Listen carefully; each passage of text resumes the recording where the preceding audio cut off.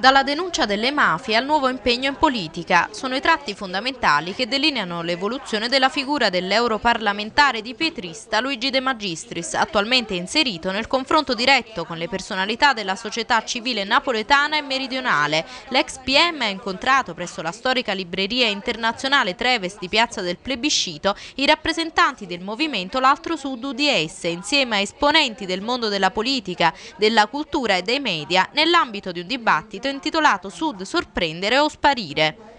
Queste secondo De Magistris le linee guida per il rilancio del mezzogiorno. Partire dal rispetto della legalità che in concreto significa una gestione diversa dei fondi pubblici che creino uno sviluppo economico compatibile con l'ambiente, che spezzino il legame tra gestione della spesa pubblica, politica, prenditori e criminalità organizzata. E poi bisogna avere una grande rivolta morale e culturale. L'ex magistrato ha parlato di pulizia etnica e di una pagina vergognosa della storia del nostro paese in riferimento ai recenti episodi di Rosarno. La vicenda di Rosarno è una vergogna, si è creata una convergenza parallela tra l'andrangheta e il governo. L'andrangheta che spara sugli immigrati che eh, coltivano i latifondi spesso dei criminali per pochi euro e che il governo che va là e che invece di ripristinare la legalità e i diritti deporta i migranti.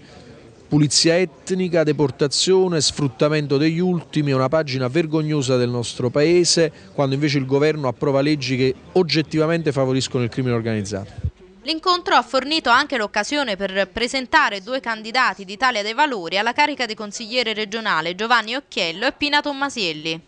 Bisogna assolutamente lavorare soprattutto sulla questione morale, bisogna creare una nuova classe dirigente che per il Sud eh, deve essere l'anello propulsore e eh, innanzitutto eh, fare in modo che il Sud sia ricco di proposte, di progetti, progettualità seria. Esperienza molto bella, molto carica di emozione perché condividiamo in pieno il progetto politico di Luigi e su quello intendiamo lavorarci.